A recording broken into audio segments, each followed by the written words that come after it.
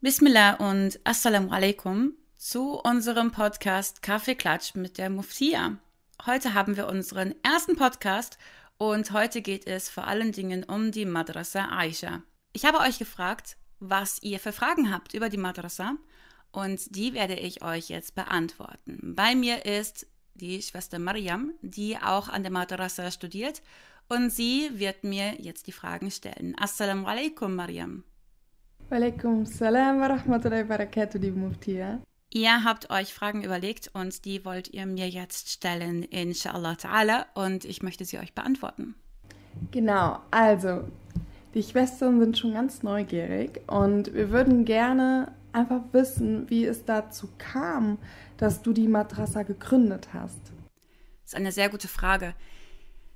Die Madrasa Aisha ist ja wirklich ein riesengroßes Projekt und um ehrlich zu sein, ich habe es mir nicht so selbst zugetraut, das wirklich zu machen. Es ist eine Verantwortung, die ich nie wirklich mir selbst aufladen würde.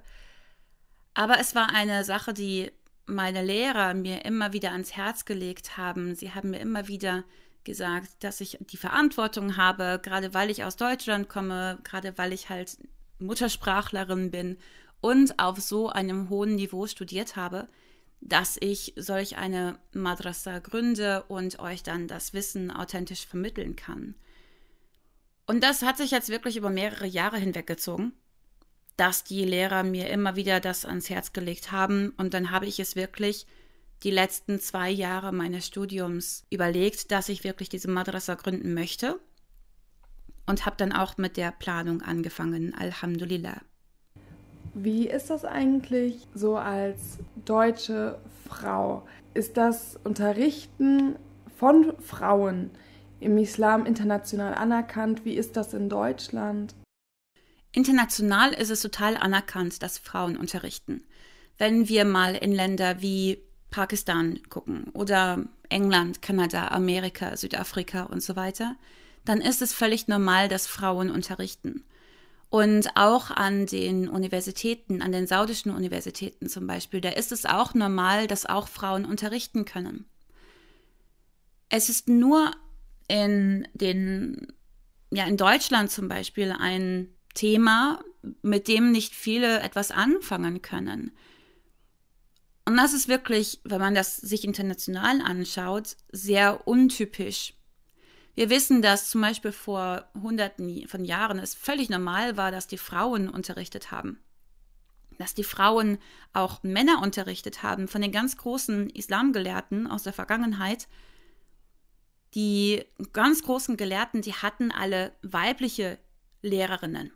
Nicht nur als sie Kinder waren, sondern auch als sie schon erwachsen waren, als sie Jugendliche waren. Da hatten sie weibliche Lehrerinnen und das war völlig normal. Hafiz ibn Hajar al-Asqalani, der Autor von Fath al-Bari, das ist ein riesengroßes Kommentarwerk von Sahih al-Bukhari, er war ein sehr, sehr großer Gelehrter während seiner Zeit und man sollte denken, dass wenn er einen 14-bändigen Kommentar über Sahih al-Bukhari schreibt, dass er dann einer der größten Gelehrten gewesen sein muss seiner Zeit. Das war er auch. Aber die größte Gelehrten oder der größte Gelehrte allgemein war eigentlich seine Frau. Er hat sich auf das Schreiben konzentriert und seine Frau, seine Ehefrau, sie hat sich auf das Unterrichten konzentriert. Und sie hat regelmäßig Vorträge gehalten, wo Tausende von männlichen Gelehrten ihr zugehört haben. Auch Aisha Radullah Anha, die ja unser ganz großes Vorbild ist, auch sie hat Vorträge gehalten für die Männer und auch die Männer, sie haben gesagt, dass ihre Vorträge besser sind, klarer sind, eloquenter sind als die ganzen Vorträge von Abu Bakr und Umar und Uthman und Ali und so weiter, radiallahu anhum. Also die Frauen, sie haben eine ganz große Rolle gehabt in der Vergangenheit als Lehrerinnen und das ist jetzt einfach nur in den letzten Jahrhunderten verloren gegangen. Aber im Moment sehen wir auch wirklich, dass sich das wieder zurückentwickelt, dass die Frauen auch wirklich wieder präsent sind als Gelehrtinnen und auch als Muftias, Die erste Muftia wurde im Jahr 2015 in Dubai ins Amt gesetzt. In Pakistan gibt es einige, in Amerika, in England vor allen Dingen auch. Also es gibt auf jeden Fall mehr und mehr Muftias und Gelehrtinnen, die wirklich eine sehr gute Arbeit leisten können für die Umma und das Wissen verbreiten können. MashaAllah. Warum findest du es denn so wichtig, dass Frauen Gelehrte sind? Weil es gibt ja auch viele Männer, die Gelehrte sind jetzt auch in den westlichen Ländern. Warum denn gerade Frauen? Es gibt so bestimmte Themen, die Frauen einfach besser können, sage ich mal. Ja, also sie können zum Beispiel die Kindererziehung besser, sie können besser sich um die psychischen Probleme von Menschen kümmern und so weiter. Das liegt einfach in der Natur der Frauen. Und gerade diese Themen sind jetzt sehr wichtig, vor allen Dingen im Westen. Wir haben hier ganz große Herausforderungen mit der Kindererziehung, ganz große Herausforderungen auch mit der psychischen Gesundheit. Und diese Themen können einfach Frauen viel besser rüberbringen. Das erstens. Zweitens gibt es natürlich auch Themen, die einfach sehr wichtig sind, wie zum Beispiel die Reinheit, wenn es zur Menstruation kommt oder zur Wochenbettblutung. Das sind Fragen, die sehr wichtig sind und von denen einfach extrem viele Dinge abhängen, wie zum Beispiel, ist das Gebet überhaupt erlaubt, ist das Gebet gültig? Und so weiter, ist das Fasten gültig, muss man fasten, darf man überhaupt fasten? Und so weiter. Von dieser Reinheit sind einfach diese ganzen Dinge abhängig. Und es sind Themen, die Frauen nicht gerne irgendwelchen Männern stellen. Ich meine, welche Frau möchte jetzt erklären, wie ihr Ausfluss aussieht, sodass ein Mann jetzt darüber urteilen kann, ob es eine Menstruation ist oder nicht? Und dementsprechend brauchen wir einfach Frauen, die da sind, die zugänglich sind, die Fragen beantworten können und die einfach da sind, wenn Frauen sie brauchen. Auch für die Dauer ist es sehr, sehr wichtig. Also es gibt einfach bestimmte Themen, die von Frauen besser unterrichtet werden können als von Männern und da gibt es gar keinen Zweifel drüber. Und es gibt einfach bestimmte Themen, wo sich die Fragen stellende Person wohler fühlt mit einer Frau als mit einem Mann. Deshalb ist es so wichtig, dass wir diese Frauen haben.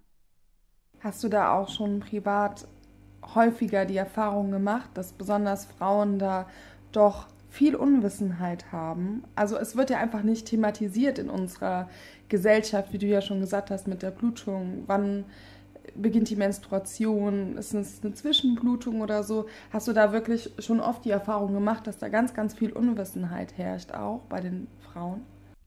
Ja, auf jeden Fall. Die ersten Dinge, die man lernt, wenn man konvertiert oder auch wenn man irgendwie ein muslimisches Kind ist, die ersten Dinge, die man lernt, ist, wie macht man Wudu? Wie betet man und solche Dinge. Ja, und da sind halt vor allen Dingen Menstruation und auch Rüssel, also das Duschen nach der Menstruation, total wichtig. Das sind zentrale Themen. Und es kommt wirklich immer wieder vor, dass halt Schwestern nicht wissen, dass sie zum Beispiel Rüssel machen müssen nach der Menstruation, dass sie nicht wissen, wann ihre Menstruation anfängt, dass sie nicht wissen, wann ihre Menstruation aufhört und so weiter. Und auch ein weiteres Problem ist, dass einfach so viele verschiedene Meinungen darüber herrschen, wann eigentlich die Menstruation anfängt und wann sie aufhört.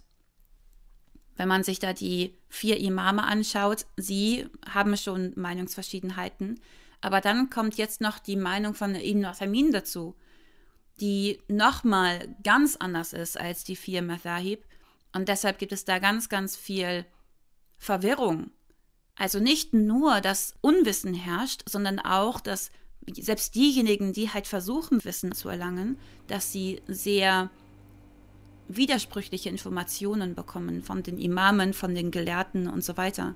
Also das ist auf jeden Fall ein großes Problem. Und auch, wenn es zum Beispiel zu den Rechten und Pflichten von Ehefrauen kommt. Viele Frauen hören sich vielleicht mal Vorträge an von Männern, wo dann irgendwie die Pflichten von Männern und Ehefrauen festgesetzt werden.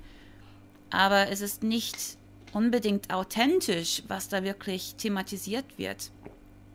Und dementsprechend haben sie einfach ein falsches Bild von dem, was sie als Frau leisten müssen oder was auch sie für Rechte haben als Frauen.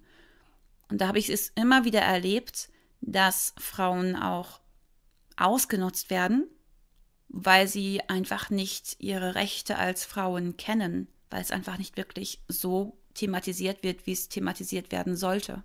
Als du die Madrasa gegründet hast, hattest du oder beziehungsweise hast du eine bestimmte Vision? Absolut. Meine Vision ist, dass ich das authentische Wissen verbreiten möchte, vor allen Dingen halt im deutschsprachigen Raum. Und der Grund dafür ist, dass wir nur mit dem Wissen Allah subhanahu wa ta'ala wirklich dienen können. Nur wenn wir das Wissen über die Religion haben und nur wenn wir wissen, wie wir Allah subhanahu wa ta'ala dienen können, wenn wir Allah subhanahu wa ta'ala wirklich kennen, nur dann können wir wirklich Allah subhanahu wa ta'ala dienen. Und nur dadurch können wir wirklich Taqwa haben und Iman haben und so weiter. Also es ist extrem wichtig. Das Wissen über die Religion ist extrem wichtig. Und gerade deswegen legt auch der Islam so einen großen Wert auf das Wissen. Ich möchte mit dieser Madrasa inshallah auf die Bedürfnisse der Umma eingehen, dass wir weibliche Gelehrtinnen ausbilden, dass wir auch islampsychologische Berater ausbilden, die den Geschwistern helfen können, die vielleicht auch psychisch zu kämpfen haben. Ich möchte auch islamische Erziehungsberater ausbilden, dass diese Erziehungsberater dann inshallah auch den muslimischen Familien helfen können, mit den ganzen Alltagsproblemen, die wir mit der Kindererziehung haben in den westlichen Ländern, klarzukommen. Im Großen und Ganzen möchte ich damit erreichen, dass wir als Umma stärker werden, dass wir stärkere Muslime werden, dass wir einfach den Islam viel besser ausleben können und dass wir wirklich zu den wahren Dienern Allahs werden können. Uns würde interessieren, besonders weil du ja diese Matrasse aufbaust und du bringst ja ein großes Wissen mit dir, ob es da irgendwelche Hindernisse gab. Was waren so die größten Herausforderungen bei der Gründung der Matrasse? Wenn man so ein großes Projekt startet, dann ist es natürlich ganz vielen Leuten ein Dorn im Auge. Und natürlich versucht Shaitan auch Steine in den Weg zu legen denjenigen, die das ein Dorn im Auge ist, die sind meistens neidisch. Das muss man wirklich ganz klar sagen. Gerade die Gelehrten, die im deutschsprachigen Raum oder generell in Europa tätig sind und vielleicht seit 20, 30 Jahren versuchen, so ein Projekt auf die Beine zu stellen und das nicht geschafft haben, die sehen dann, da kommt dann so eine neue Schwester, ja, die gerade so frisch aus dem Studium kommt und dann schafft sie es, da so ein großes Projekt auf die Beine zu stellen und auch noch so erfolgreich zu sein. Ich meine, wie viele Schwestern hatten wir wirklich von Anfang an mit dabei? Das war einfach unglaublich. Und das hat einfach noch niemand vorher geschafft. Und das ist nicht mein Verdienst oder das ist nicht mein Erfolg, sondern das ist etwas, was einzig und allein von Allah subhanahu wa ta'ala kommt. Also bitte verstehe mich nicht falsch. Aber es war einfach auch ein Fausthieb ins Gesicht den anderen älteren Gelehrten, dass sie seit 20, 30 Jahren es nicht schaffen, solch ein großes Projekt auf die Beine zu stellen. Aber ich schon. Und natürlich war dann da auch Neid mit verbunden. Wir haben auch einen Gastvortrag gehabt am Anfang des Studiums, wo einer meiner Lehrer, der Sheikh Kamil Ahmed, genau darüber gesprochen hat, dass wenn man neu etwas auf die Beine stellen möchte, dass es immer wieder Leute gibt, die dann neidisch sind, die dann irgendwie versuchen, die Fehler herauszufinden und so weiter. Also es ist etwas, was normal ist, was bekannt ist, was immer wieder passieren wird und was auch wahrscheinlich bis zum letzten Tag einfach immer wieder so passieren würde. Denkst du, dass da auch besonders ein Fokus darauf war, dass du eine Frau bist? Das war natürlich eine sehr große Angriffsfläche, dass ich eine Frau bin. Man kann mir vorwerfen, dass ich emotional sei und dass ich nicht qualifiziert genug sein könnte und was auch immer. Aber ganz ehrlich, da haben die sich die falsche ausgesucht. Ich bin halt in der Dauer und im Unterrichten tätig seit fast einem Jahrzehnt. Ich weiß, was das Unterrichten bedeutet. Ich weiß, was die Dauer bedeutet. Ich weiß, was die Fitten bedeuten. Und ich habe einfach so ein dickes Fell, dass ich sowas nicht an mich rankommen lasse.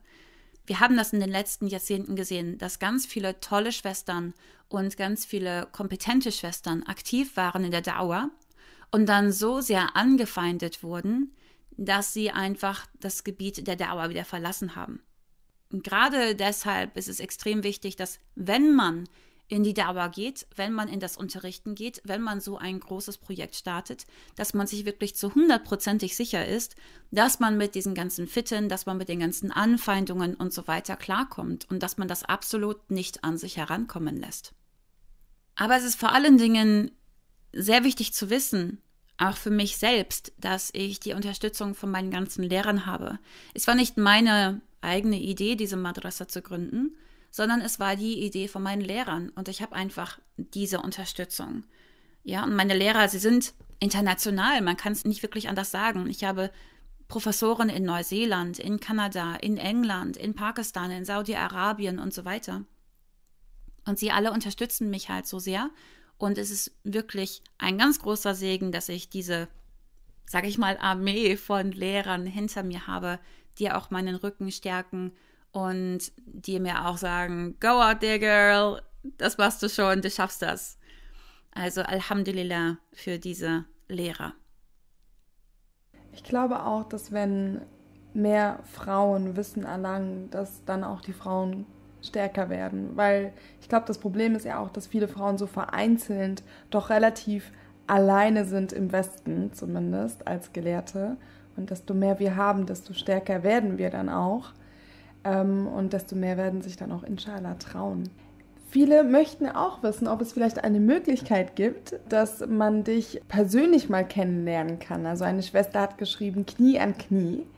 Weil dadurch, dass ja die Matrasse eine Online-Schule ist, haben wir ja jetzt so im Alltag ja nicht die Möglichkeit, dich einfach mal so persönlich zu treffen, ob du da was anbietest. Wir wollen inshallah auf jeden Fall einmal im Jahr eine sogenannte Deutschland-Tour organisieren wo ich einfach wirklich von Norddeutschland nach Süddeutschland reise und mehrere Vorträge halte. Und bei diesen Vorträgen und bei dieser Reise ist es natürlich dann inshallah auch möglich, mich persönlich zu treffen, dass es Meet and Greets gibt mit den Studentinnen, dass es vielleicht auch ein Gesprächsforum geben kann mit Menschen, die einfach nur Fragen stellen möchten über die Madrasa, die mich einfach so persönlich kennenlernen wollen und so weiter. Also da planen wir auf jeden Fall etwas und das soll inshallah, wenn alles gut geht, einmal im Jahr stattfinden. Natürlich wissen wir nie ganz genau, was passiert. Das haben wir auch bei Covid gesehen, dass dann einfach mal ein Strich durch die Rechnung gemacht werden kann. Aber das ist auf jeden Fall das, was wir planen.